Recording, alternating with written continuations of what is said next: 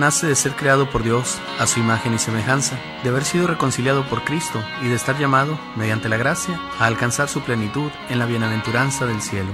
Dignidad del hombre.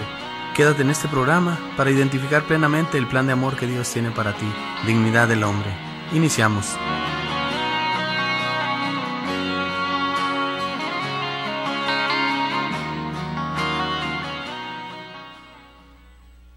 Me platicaban los que habían vivido más tiempo que yo, que en aquellos tiempos, cuando una persona llegaba a la casa, y cualquier persona, ¿eh?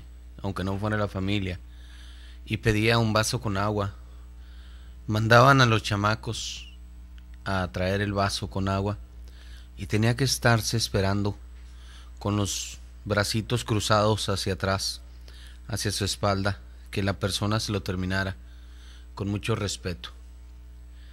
Me platicaban también que cuando lo bautizaban a uno, los padrinos pasaban a ser los segundos padres, les decían. Y había mucho respeto también. Veías a tu padrino o tu madrina en la calle y tenías que darle un beso en la mano en señal de de respeto también. Me platicaban que antes, cuando andabas de travieso por ahí, de traviesa por ahí, y algún adulto te llamaba la atención, pues uno entendía y dejaba de tener aquella conducta inapropiada, aquella vagancia, aquella grosería. ¿Qué sé yo? Eso me han platicado los grandes, los viejos, las personas que han vivido. Las personas que ven cómo cambia el mundo, las personas que ven cuánto desorden hay, las personas que ven cuánto cuánto está fallando la familia como familia cristiana.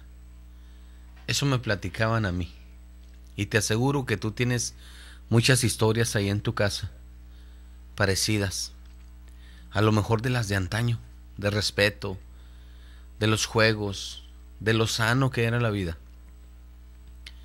A lo mejor ya de alguno de tus nietos, alguno de tus hijos que ha perdido el respeto a los mayores, a los grandes, a las personas que deben de ser honradas, pero sobre todo el respeto a Dios. Bienvenidos en esta noche, queridos hermanos. Estamos totalmente en vivo en su programa La dignidad del hombre, con un servidor, Javier Moriel, miembro con Alianza de Comunidad Coinonía, a la que amo muchísimo. Y les doy la más cordial de las bienvenidas otra vez a este programa. Qué bueno que están aquí, qué bueno que podemos ir compartiendo, aprendiendo juntos. Y yo quiero pedirles que esta noche, si tienen alguna historia, nos la hagan saber a través de nuestros teléfonos 622-8962, totalmente en vivo ahorita, cuando son las 9 con 3 de la noche aquí en Tijuana, con un frío y una una brisita que se siente. 622-8962. Si estás en Estados Unidos, llámanos también. Queremos, aunque sea en inglés, háblanos, no te preocupes. 866-228-4305. Iniciamos con este tu programa, La Dignidad del Hombre. Dice un doctor, escribía este doctor algo que yo leía, dice, yo no sé, decía este doctor, si haya más crisis de autoridad o de obediencia. De esto vamos a hablar ahora, de la autoridad en la casa y de la obediencia, de la autoridad que debemos de tener y de cuando también debemos de someternos. Yo no sé si haya más crisis de autoridad o de obediencia. Si en el mundo actual los que mandan no saben mandar, o si es que los que obedecen no saben obedecer. El mundo está patas para arriba, ¿no? Así. Yo no sé si habrá que buscar la falla en la cúspide o en la base, continúa este doctor. No se trata de una cacería de brujas de encontrar, quiere decir él, algún culpable, para detectar responsables y incriminarlos, ¿no?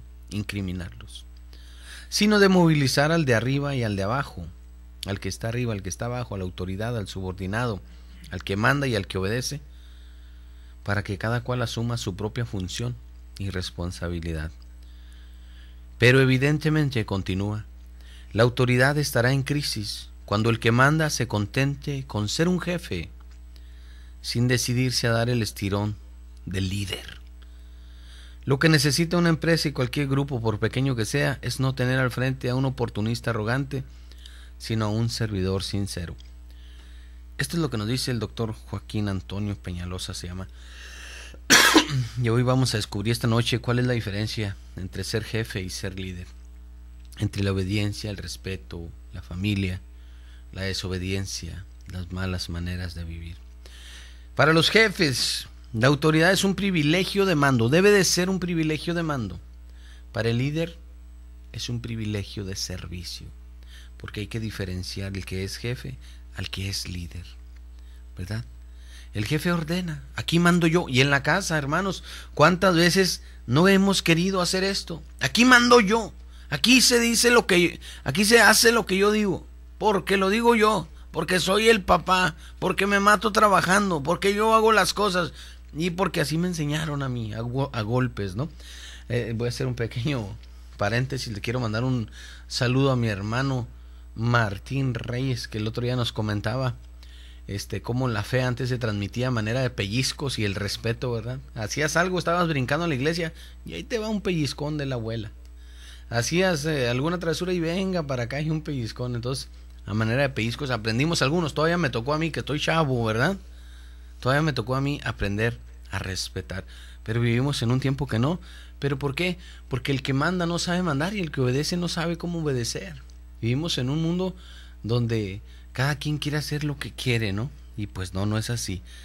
El jefe entonces decíamos, ordena, ya salimos del paréntesis. El jefe ordena, aquí mando yo. Aquí se hace mi voluntad. Yo soy el mero mero. Yo mando, ya dije, a la mujer, no, porque no es mujer, ¿eh? A la vieja, dicen. Aquí a mi vieja y a mis hijos yo mero no es mujer, no está el respeto, no está el amor, no es nada. El líder dice, aquí sirvo yo. Es el hombre abnegado, es el hombre que se entrega, es el hombre que trabaja, es el hombre que respeta, es el hombre que ama, es el hombre que enseña. Y esa es la diferencia. Vamos aplicándolo al hogar. El jefe existe por la autoridad. Yo les comento siempre a mis hermanos, ¿verdad? Aquí en, en la comunidad, cuando hay oportunidad, ¿quiénes son los más odiados en una empresa? En una fábrica, ¿quiénes son los más odiados? Los supervisores. Esos son los más odiados. ¿Por qué? Por alguna razón. Por envidia. Tal vez, por envidia. O por quién sabe qué cosas, ¿no? Pero son los más odiados. Bueno, el jefe existe por la autoridad y a veces no va a ser amado. El líder por la buena voluntad. ¿Qué es esto de buena voluntad? Ser buena persona, querer hacer las cosas. Los jefes creen que es suficiente tener una investidura de mando. El que quiere ser jefe en su, en su casa dice, aquí mando yo, yo soy el mero mero, yo soy el papá, yo soy el que digo, yo soy el que ordeno. Y a veces no hay temor al papá. No, no, si hay temor, perdóneme usted, me equivoqué. No hay respeto, hay temor.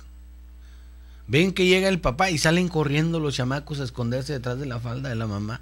O se van a su cuarto, o se encierran, o se esconden, o algo hacen, o se van a la calle. ¿Por qué? Porque saben que va a llegar el que grita, el que ordena, el que manda, el que pega, el grandote, el fuerte. Y le tienen miedo, no respeto. Y después cuando crecen se pierde el, el miedo se pierde el respeto, se pierde el cariño y crece, y crece el odio, la inseguridad, crecen muchas cosas, los rencores, ¿no? Pues qué tremendo es esto. Pues el líder no, el líder no necesita estar exhibiendo ante sus subordinados sus credenciales de legítima autoridad, ¿no?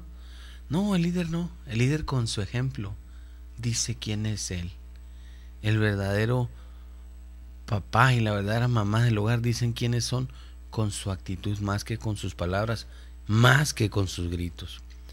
Empeño generoso, dinamismo, actitud de entrega, amor, cariño, paciencia, comprensión, amabilidad, todo esto son las mejores cartas con las que los que están abajo de ti se enteran de que tienen una autoridad que no necesita imponerse por argumentos eh, externos, por gritos, por yo soy el, dicen los que saben, ¿verdad? Que unas que dicen, es que yo soy el, el jefe, yo soy el supervisor, yo soy el coordinador. Ya estás fracasando. No necesitas estarlo diciendo con palabras, y menos con palabras grotescas ni groseras, sino con el ejemplo.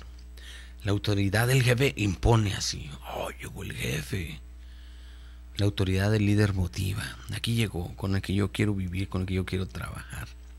Ojalá que nos vayamos entendiendo. El jefe maneja a la gente. La mueve de aquí para allá. Tú haces esto, tú haces lo otro. El líder los prepara. Los prepara, ¿verdad? Es, es ahí la diferencia.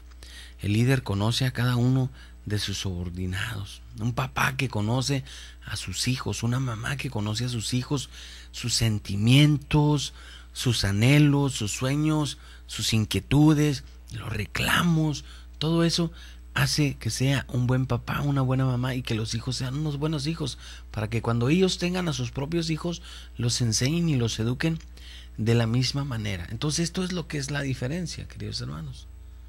Conocerlos, amarlos, respetarlos.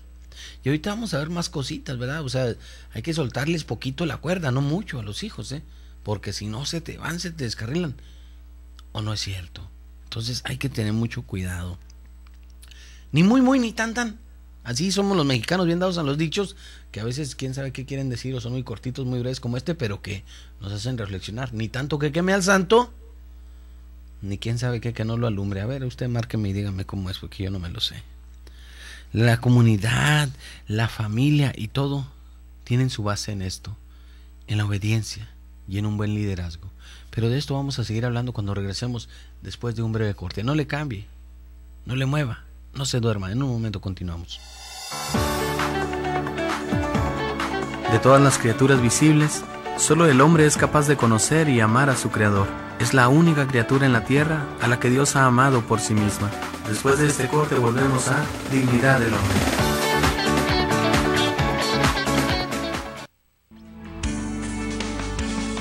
En Coinonía Radio te damos las gracias por tu preferencia a esta estación católica. Tú eres la razón más importante que nos motiva a la evangelización. Queremos seguir contando contigo. Coinonía Radio te dice, gracias. Dios te bendiga.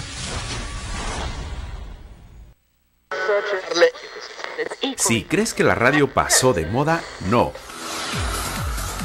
Hoy te acompaña en casa, en la oficina, en tus actividades recreativas. Es móvil, de acuerdo a tu bolsillo, compacto y lo puedes llevar a donde quieras. Por tan solo 15 dólares puedes adquirir aquí, en las instalaciones de Coinonía Radio, tu radio digital con pantalla AM y FM. Incluye audífonos con diseño compacto Lleva nuestra programación contigo. Adquiere tu radio digital ahora.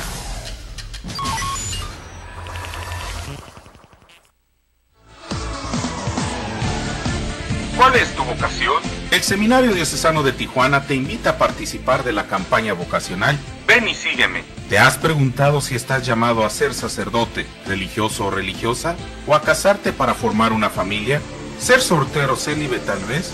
Solo Dios tiene la respuesta. Descúbrelo y visítanos en Facebook, Twitter, Instagram y YouTube como Seminario Tijuana. Y no olvides nuestra página web seminariotijuana.org. Apóyanos compartiendo el hashtag Ven y sígueme.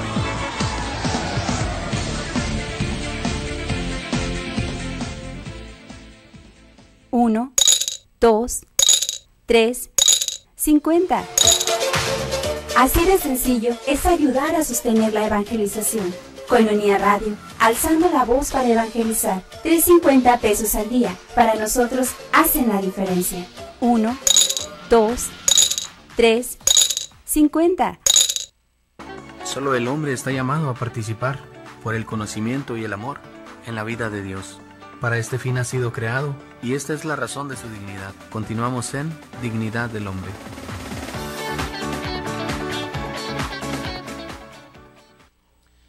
Continuamos, queridos hermanos, estamos hablando de la autoridad, de mandar, de obedecer.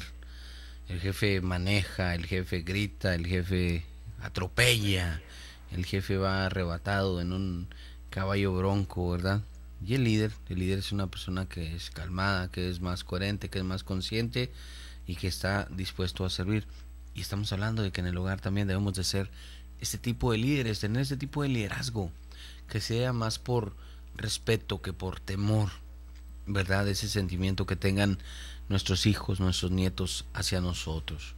Se oye medio interesante esto de nuestros nietos, ¿verdad? Como que ya estamos viejitos, pero pues hay que nos sirva de experiencia a los que todavía no entramos en la tercera edad o en la segunda edad. ¿Cuál será la segunda edad? ¿Quién sabe?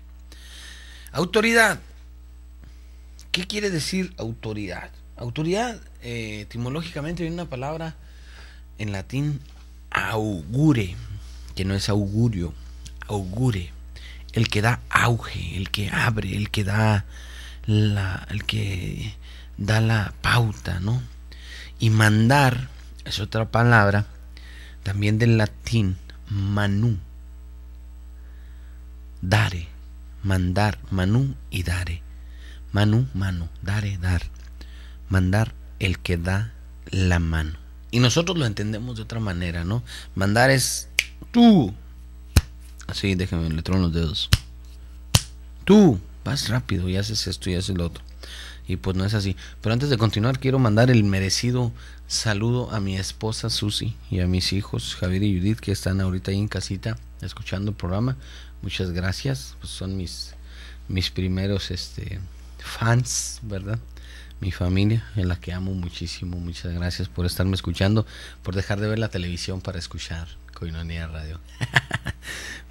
bueno, ahí quedaron los saludos muy merecidos para mi familia hermosa que tengo. El principio de autoridad y subordinación, vamos a entenderlo. Es un principio divino y natural. ¿Qué quiere decir esto? Que viene de Dios. Yo he sido autoritario muchas veces, en mi casa, en el trabajo, con mis hermanos, con mis compañeros. Yo he querido imponer mis ideas porque yo nunca me equivoco, yo siempre tengo la razón y yo creo que usted que está del otro lado del radio puede pensar lo mismo, ¿verdad?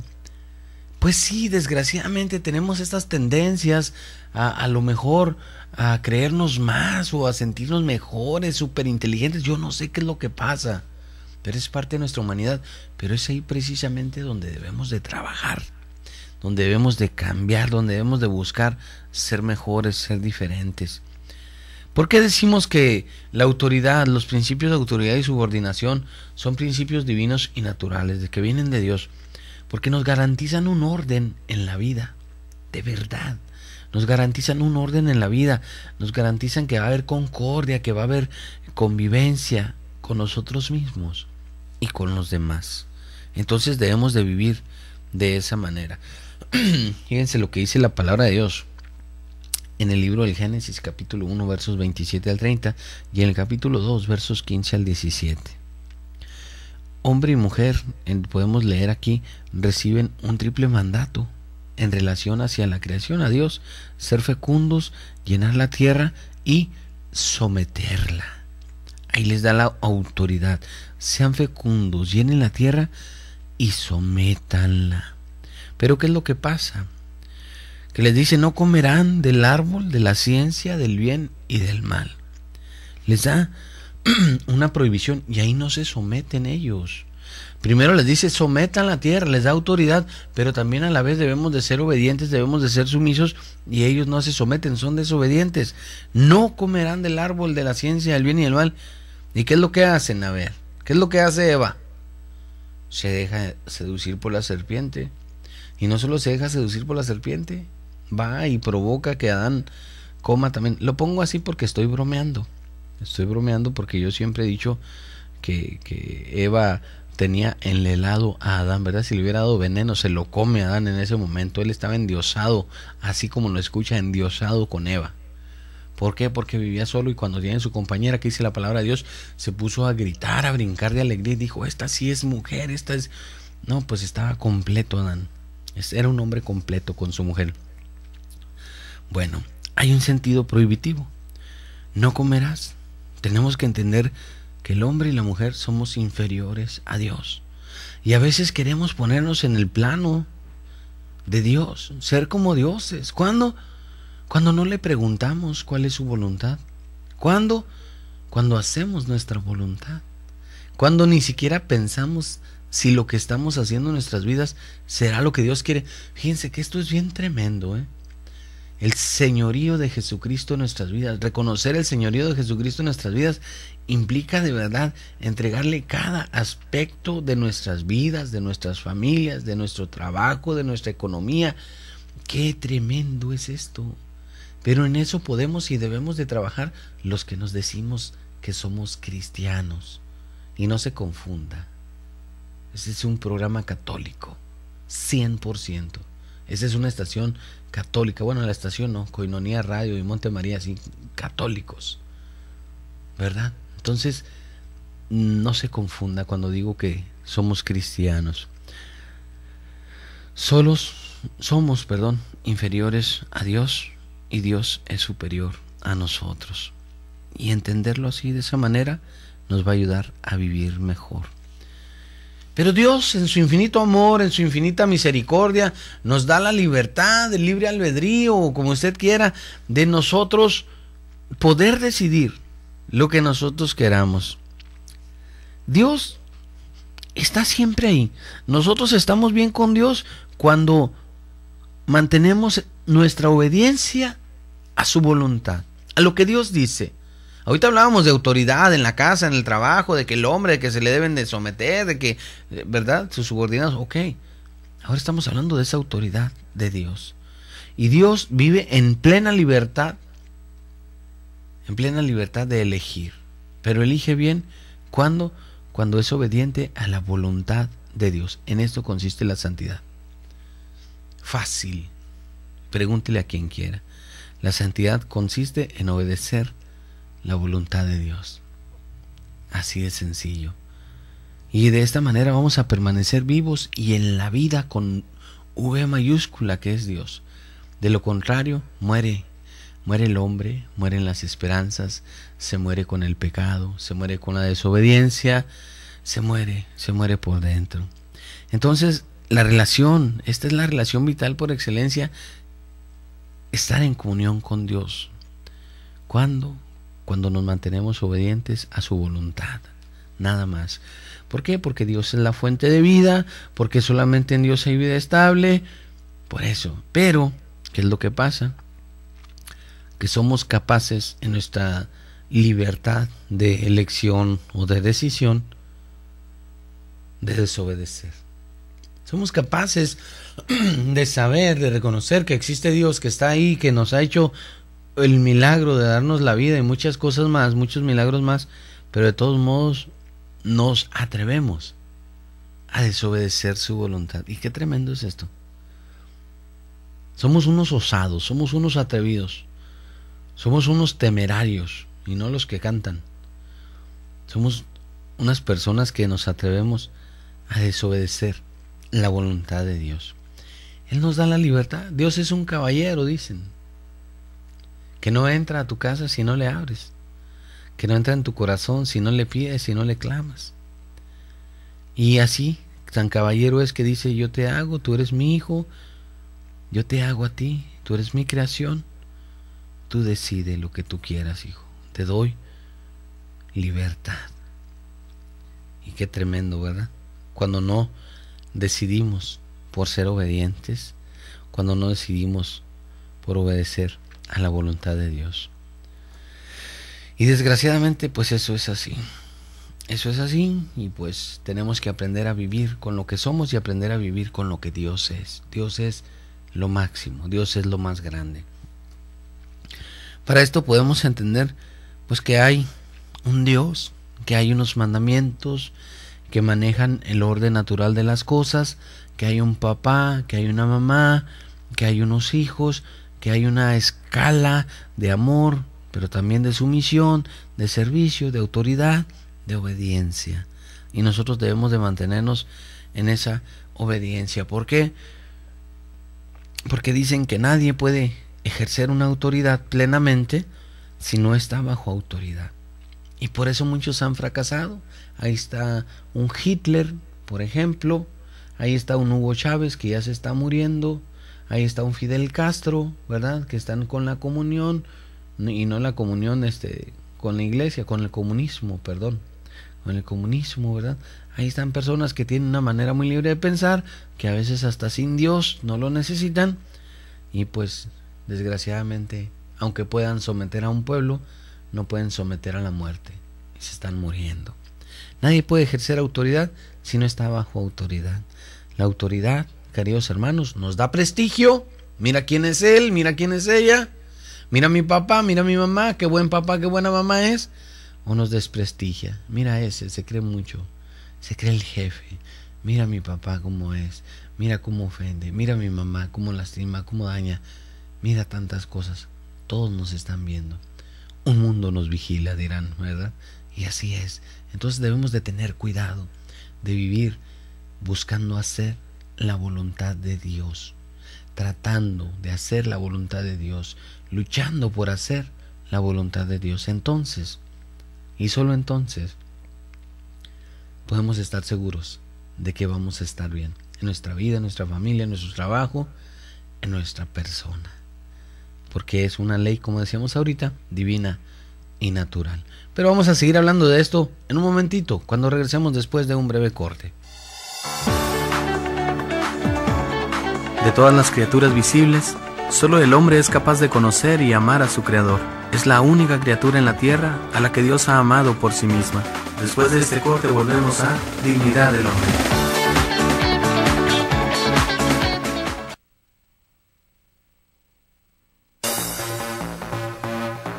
¿Quieres hacer algún comentario al señor arzobispo metropolitano, don Rafael Romo Muñoz?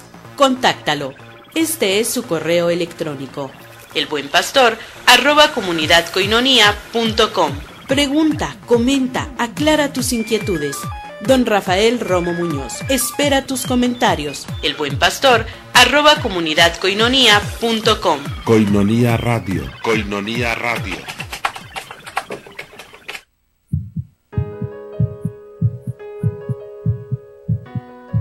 ¿Qué entiende la iglesia por aborto? Bueno, pues entiende por aborto la suspensión voluntaria de, la vida, de la vida. nosotros sabemos por la ciencia, y esto no, requiere de ninguna cosa religiosa, ni mucho menos, de que la vida comienza en el momento de la concepción.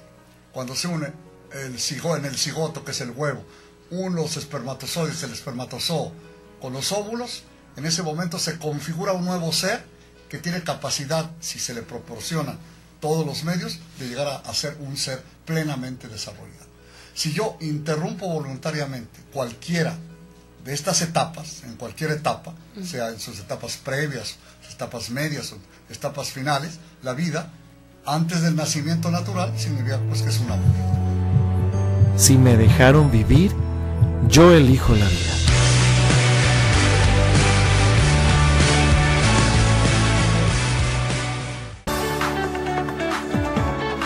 Solo el hombre está llamado a participar, por el conocimiento y el amor, en la vida de Dios. Para este fin ha sido creado y esta es la razón de su dignidad. Continuamos en Dignidad del Hombre.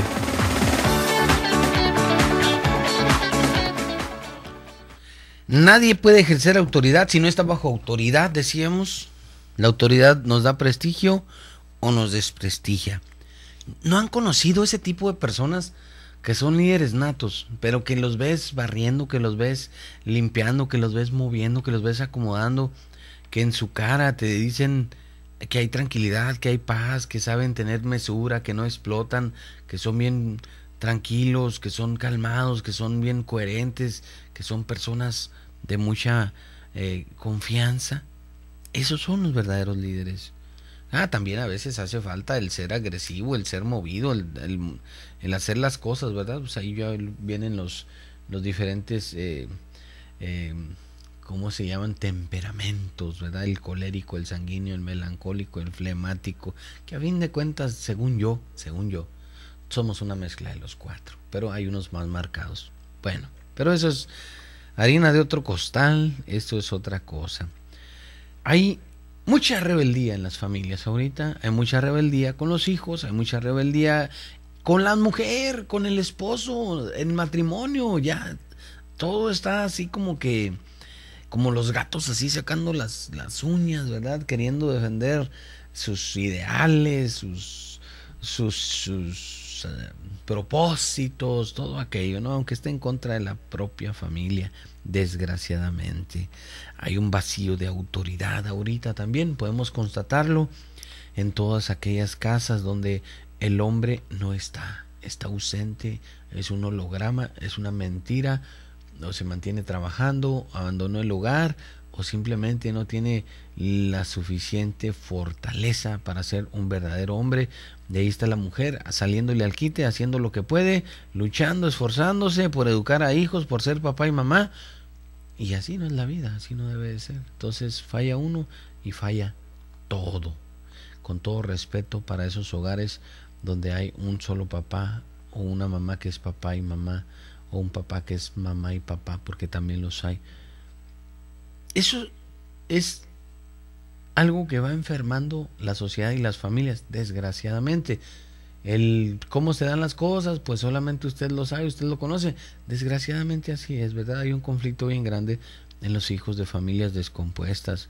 Hay mucha ignorancia, hay autoritarismo, hay sobreprotección, nos vamos a los extremos y todo pasa, desgraciadamente, cuando se vive sin Dios, cuando no está Dios, cuando el egoísmo, el egocentrismo, la persona es lo más importante, cuando no le damos cabida a Dios de que Él sea el que conduzca nuestras vidas, cuando no le damos cabida a través de la oración, a través del respeto, a través de la honra, a través de todas esas cosas, ¿no?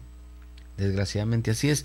Porque debemos de entender que un matrimonio es un equipo, un equipazo. Y si le da a usted oportunidad a Dios de que entre en su matrimonio, va a tener el equipo más fuerte que hay. Más que los cholos que acaban de ganar el campeonato. Más que el equipo de, de este de Márquez que le acaba de ganar a Paqueado. Tenía que hablar de eso, ¿no? Como mexicano que soy. Pues bueno, un matrimonio donde hay autoridad va a tener va a ser un verdadero equipo y más si tiene a Dios. El esposo, el papá, la esposa, la mamá, los dos juntos, tomados de la mano, haciendo lo que les corresponde. ¿Y qué es lo que les corresponde? Aquí está el gran problema que tenemos en la actualidad. Los roles del hombre y de la mujer, y no los de canela ni los de fresa, los roles, el rol, el trabajo, la acción, lo que cada uno debe de hacer. El hombre tres cosas que yo he aprendido que debe tener, que son las más marcadas, que hay muchísimas más, pero estas tres deben de ser las básicas. El hombre como proveedor, el hombre como protector, el hombre como gobernador. El proveedor, ¿quién es? El que da, el que lleva, el que alimenta. Ah, pero no solo en lo material, no solo con los frijolitos, con el quesito, con tortillas de harina. No, no solo en los alimentos. Provee, o debe de proveer, mejor dicho, cariño. Un hombre que abraza a sus hijos es un verdadero hombre. Y se lo digo con el corazón en la mano. Un hombre que puede abrazar a sus hijas es un verdadero hombre. Un hombre que puede abrazar y besar a su esposa con ternura, con cariño, es un verdadero hombre porque está siendo proveedor de lo que su familia necesita, no solo de lo material o la alimentación, sino de el cariño. Un hombre provee instrucción, un hombre es el maestro en el hogar, no nada más en el trabajo, es el maestro. Es el que enseña, el que instruye. Un hombre provee la vida espiritual también, es el que debe de iniciar, es la cabeza de esa iglesia doméstica que tantas veces hemos hablado. Un hombre es el que provee estímulo, es el que provee afecto, es el que da aliento, es el que hace muchas cosas como hombre que debe de ser. Y provee los bienes materiales también, etcétera, etcétera. Proveedor, uno. Los roles del hombre son tres. El primero, proveedor, lo acabamos de ver. El segundo, protector. Debe de ser protector. Así como los machos de las manadas protegen a la manada, Así debe de ser el hombre también, protector. Pero no solo proteger de los, de los, este, de los ataques de que pudieran tener, ¿verdad? De golpes o de algo así. De todo, absolutamente todo lo que daña a la familia. De todo lo que aparte a la familia de los objetivos de Dios, de los objetivos del bien. Un protector da seguridad. Y eso es lo que debe de ser un hombre, dar seguridad. Pero si no está ahí, va a dar inseguridad. Debe de estar ahí. Y es gobernador también. ¿Cómo la ve usted? Y no es de ningún partido político. Primero dijimos proveedor. Segundo protector. Después gobernador. Gobernador. Estamos hablando de autoridad. Autoridad. Debe de ser autoridad. Pero alguien que gobierna debe de ser alguien que sirva, aunque no tengamos un claro ejemplo nuestros gobernantes, ¿verdad?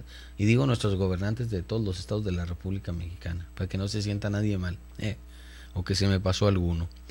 Gobernador, autoridad, debe de servir, debe ser el líder, el que busca el bien de los demás. ¿Por qué? Porque decíamos ahorita que él mismo vive bajo la autoridad de Dios. Y en esa autoridad de Dios sabe qué es lo que necesita hacer con su familia y los lleva. Entonces, proveedor, protector y gobernador. ¿Cómo ve usted?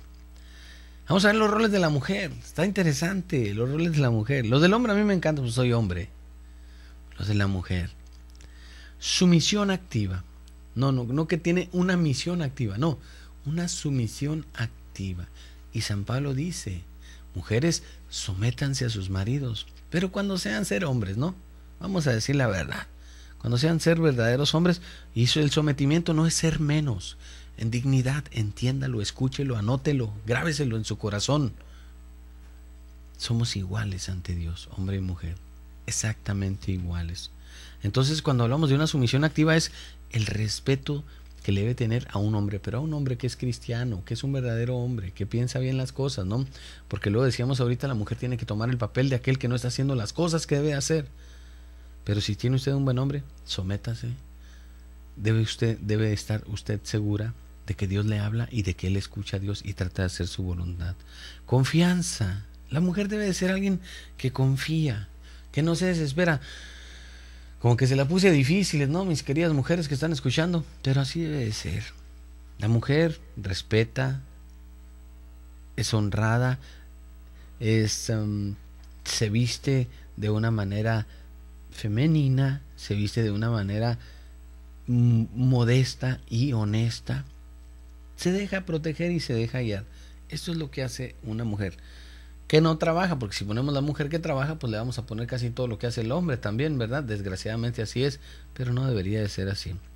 Y ambos tienen unos roles entre ambos. Acuérdense, decíamos, el equipazo de Dios, cuando se tiene a Dios. Debemos estar de acuerdo, hombre y mujer, esposo y esposa, marido y marida, ¿verdad? Debemos estar de acuerdo en que estos roles que acabamos de ver son los que nos corresponden a cada uno. Debemos estar de acuerdo en la economía. Debemos estar de acuerdo en algo que, uy, qué escabroso es esto, en la sexualidad. Así como lo escucha en la intimidad, se debe de estar de acuerdo en todo esto. Porque si no, no hay satisfacción, no hay felicidad, va a haber problemas, va a haber quejas, se va a llenar el corazón de rencores. Entonces, hombre y mujer, ambos dos, que está mal dicho, lo estoy diciendo de broma, ambos debemos de entender lo que Dios quiere de cada uno de nosotros y estar de acuerdo, porque a veces entendemos pero no aceptamos, ¿verdad? Somos como aquel que dice, te perdono pero no se me olvida, o se me olvida pero no te perdono, o sea, es un juego ahí nada más, ¿no? No, en Dios, pedir es dar. En Dios, aceptar, hacer la voluntad de Él. Así como está tu esposo, así como es tu mujer, así, calma, tranquilidad, Paciencia, mi querido Solín, porque es la mujer que te tocó, porque es el esposo que te tocó. Hay que amarlo, respetarlo, honrarlo. Y si no está haciendo las cosas bien, pues hay que rezar mucho por él o por ella, porque se da el caso, ¿verdad? Pero bueno. Se está poniendo interesante, desgraciadamente se me está acabando el tiempo, ya vamos a ir al último bloque, pero quiero anticiparles que vamos a hablar, una vez que recemos de este bloque, de lo que no debemos de hacer como pareja delante de los hijos. ¿Qué le parece? Vamos aprendiendo, ¿no? ¿Será tarde ya para aprender? ¿Usted qué opina? Yo pienso que no. Y pues seguirlos invitando a que nos llamen. Estamos totalmente en vivo aquí en Tijuana, 622-8962. Llámeme porque me da sueño. Y desde Estados Unidos 866-228-4305. Vamos a un corte y en un momentito regresamos. No le cambie, no le mueva y no se duerma. En un momento continuamos en la dignidad del hombre. De todas las criaturas visibles, solo el hombre es capaz de conocer y amar a su Creador. Es la única criatura en la tierra a la que Dios ha amado por sí misma. Después de este corte volvemos a Dignidad del Hombre.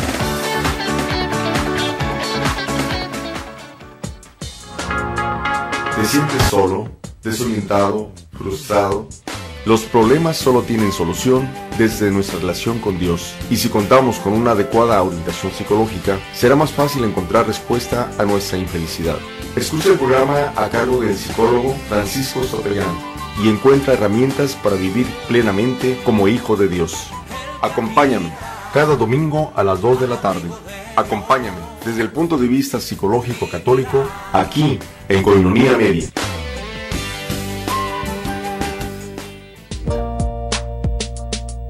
Alianza de Amor en Coinonía Media. Te invitamos a escuchar el programa Alianza de Amor desde www.tjcatólico.com. Viviendo en santidad para santificar a la familia.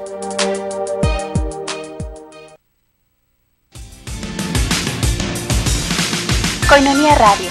Visítanos en la red www.coinoniaradio.org. Nuestra página en constante actualización para mantenerte informado.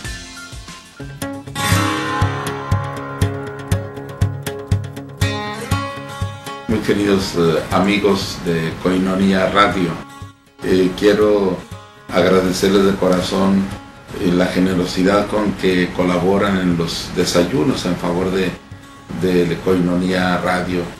es muy importante la colaboración de ustedes. se trata de poder continuar con este trabajo tan importante de la difusión del Evangelio a través de la radio y esto naturalmente es un medio muy costoso. Les agradecemos esta respuesta que ustedes tienen, su generosidad, porque es una ayuda muy importante para poder continuar nosotros en Coironía Radio con esta difusión del Evangelio. Mil gracias y que Dios les bendiga.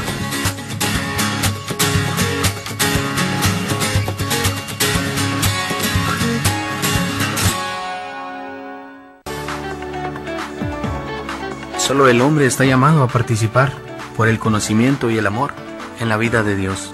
Para este fin ha sido creado y esta es la razón de su dignidad. Continuamos en Dignidad del Hombre.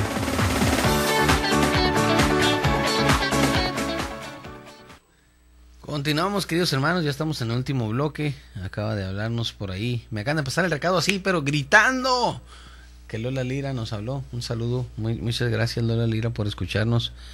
Y también nos habló la señora Olivia Rivera. Eh, felicita el programa. Muchas gracias, hermanita Olivia. Por ahí pasaremos mañana o pasado mañana, Dios mediante, por su casa. Muchas gracias. Eh, estamos hablando, ¿de qué estamos hablando? Ah, de la autoridad, ah, de lo que no debemos de hacer, decíamos, ¿verdad? Como pareja delante de los hijos. Es que somos bien tontos. Cuando uno se enoja, se enoja, ¿no? Y no quiere uno limitarse, quiere uno explotar y sacar a gusto el, el coraje. ¿A poco no es cierto? Ah, déjame que quién sabe qué, que ahorita vas a ver y que agárrame, mi hijo, le dice, aunque sea un bebé, no, agárrame, si no. Y andan siendo uno puras tarugadas en la casa, puros malos ejemplos. Eh, me estoy acordando de mis hijos, ¿verdad? Porque mi esposa y yo no solemos discutir, somos un matrimonio ejemplar no es la verdad, eh, con todo respeto, la verdad es que sí es. Entonces, alguna vez que por ahí este tenemos alguna situación, alguna vez muy esporádica y una vez cada 15 años o algo así, eh, mis hijos se sorprenden y a mí me da mucho gusto eso. Este, ahí están y luego ya nos dan carrilla y todo. Pues llevamos una relación muy bonita, bendito sea Dios. 17 años de casados, 17 años muy hermosos, que han sido como 17 minutos pero bajo el agua, decíamos en un retiro ayer. No, no es cierto, no es cierto, estoy bromeando. Entonces, tú prepárame la cena, no te preocupes, estoy bromeando. ¿Qué no debemos de hacer como pareja delante de los hijos? Explotar, enojarnos, gritar, bueno, muchas cosas más, mire. Desacreditar al cónyuge. Ay, tu papá es un mentiroso, mira que qué horas dijo y no vino, y desde cuándo dijo que iba a poner el drenaje en el SIG, y mira, no ha puesto la puerta, es un holgazán, se la pasa con sus amigotes viendo el fútbol, y cosas de esas. No, no lo desacredite, aunque sea un flojo, no le diga a sus hijos que es un flojo, porque no lo van a respetar. Aunque su mujer sea una fodonga, porque las hay, no le diga a sus hijos que es una fodonga pues trate de meter la basura debajo del tapete para que no se vea, a ver qué hace. Pero tiene que apoyar esa situación. Mostrar rebeldía o rivalidad. Siempre, ¿verdad? Ahí está esa lucha de poder, ¿no? Ahí jugandito, jugandito, pero te estás haciendo el machito delante de tus amigotes, ¿no? Ah, tenga cuidado con eso. El hombre es la autoridad, la mujer también es la autoridad, pero de los hijos. no, no es cierto. Mostrar rebeldía o rivalidad, estar peleando siempre por ver quién es más, quién es el mejor, pues no, al contrario, hacer un equipo, decíamos, ¿verdad? Nunca discuta delante de sus hijos, porque los daña. Tampoco esto se debe hacer. Discutir delante de los hijos los daña, los hace que crezcan inseguros, los hace que crezcan con complejos, los hace que crezcan con desconfianza y los hace que sigan en la misma cadenita de pecado y que ellos también discutan o griten cuando sean grandes. No cumplir acuerdos, nunca haga eso. Si usted prometió algo, cúmplalo, cúmplalo, trate de cumplirlo, trate de nunca quedar mal, así sea con la esposa, así sea con los hijos. Pero fíjese aquí un dato muy importante, si le prometió unas nalgaditas a su hijo, déselas. No le diga te voy a pegar. O si haces esto te va a pegar y lo hace y usted no le pega. Uy, ya se lo está echando a la bolsa, pero el hijo a usted. Dele una o dos así suavecito, ¿verdad? No lo lastime, pero que, que sienta que hay poder, que sienta que hay autoridad, ¿no? No cumplir acuerdos, pues no. Las cosas buenas que prometa, cúmplalas. Que vamos a ir al cine si te sacas buenas calificaciones. Y si sacó buenas calificaciones, tiene que ir al cine. Tiene que cumplir, tiene que ser hombre o mujer de palabra. U hombre y mujer de palabra. No desacredite a los hijos tampoco. Viera qué mal se sienten los hijos de que los anden comparando con su hermano menor, con su hermano mayor, con este o con el otro. Fíjense que aquí pasa algo bien interesante.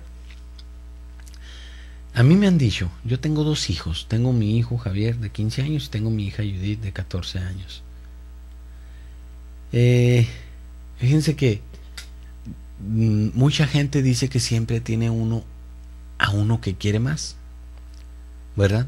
Que si es el hijo mayor, que si es el hijo menor, que si es el primero, que si es el último, que si es el más viejito, que si es el Benjamín, que siempre los quiere uno, más uno al otro. No haga eso. Eso no está bien. No está bien. Los hijos son iguales y debe de amárseles de igual manera. Aunque uno sea más vago, aunque uno sea más travieso, aunque uno sea más gritón, aunque uno sea más desobediente, debe de amarlos igual, para que ellos aprendan a amar de una manera igual. Y no los desacredite, no los compare con nadie, no ande diciendo, mira, es que ¿por qué no eres como tu primo? Yo me acuerdo mucho de una prima que que quiero mucho, ¿verdad? Que íbamos en el mismo salón en la secundaria. Entonces mi prima era bien dedicada a la escuela. Yo, pues no, no es que fuera un, uno de esos que le llaman burros, ¿verdad? Lo que pasa es que era bien travieso.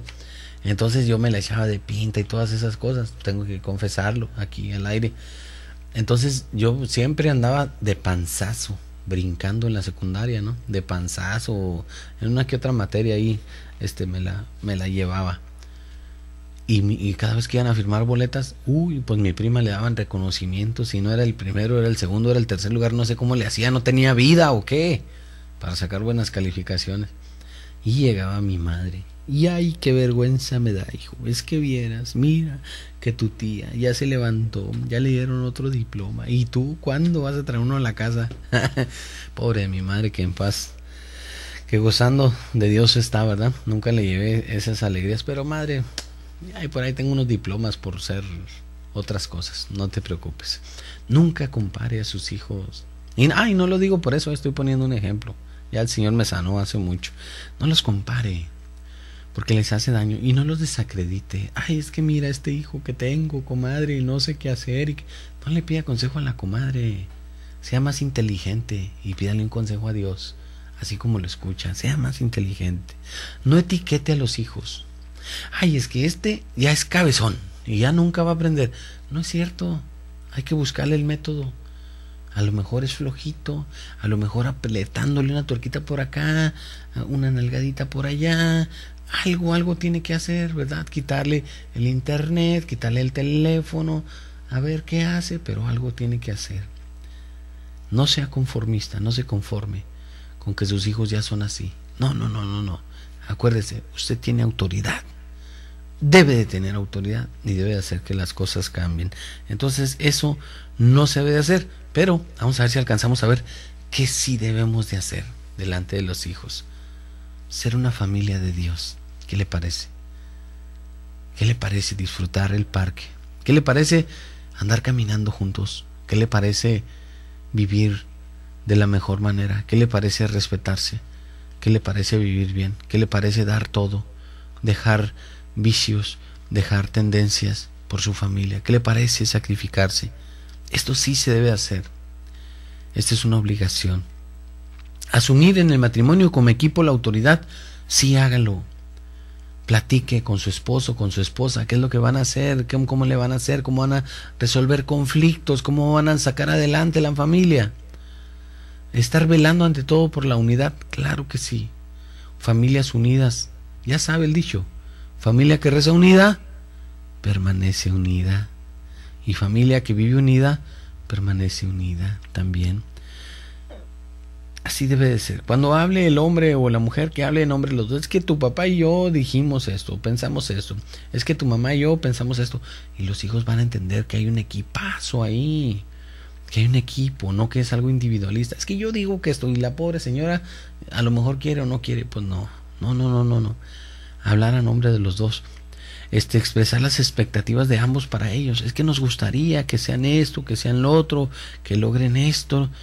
Este, y si se equivocan los hijos, demostrar la molestia juntos también. Eso no está bien, hijo. Eso no está bien. Eso que tú hiciste no está bien, hija. ¿Por qué lo hiciste? No está bien. Los dos juntos, ¿verdad?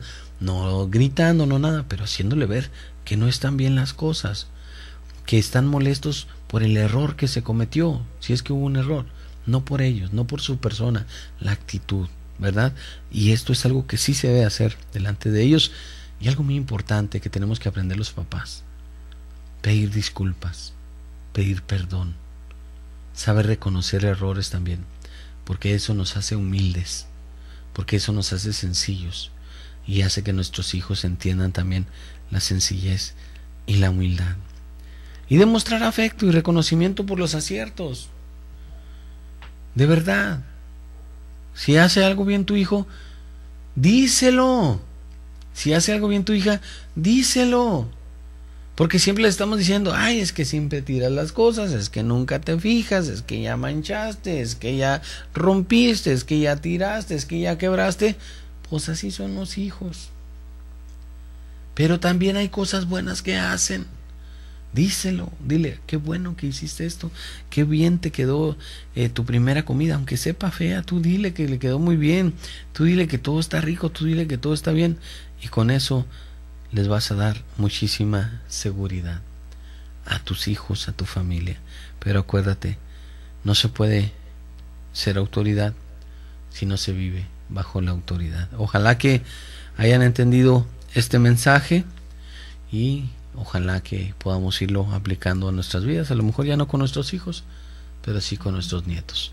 Por mi parte es todo, muy buenas noches, Dios les bendiga, nos vemos aquí en su programa La dignidad del hombre. Hasta luego. El hombre, ayudado por la gracia y usando bien su libertad, puede identificar su voluntad con la voluntad de Dios, pues lo que Dios quiere es siempre lo mejor para el hombre. No te pierdas nuestra siguiente emisión, Dignidad del Hombre para que podamos reforzar nuestra amistad con Dios, para que hagas de tu libertad un signo eminente de la imagen divina de Dios. Contamos contigo en el siguiente programa, Dignidad del Hombre. Hasta la próxima semana.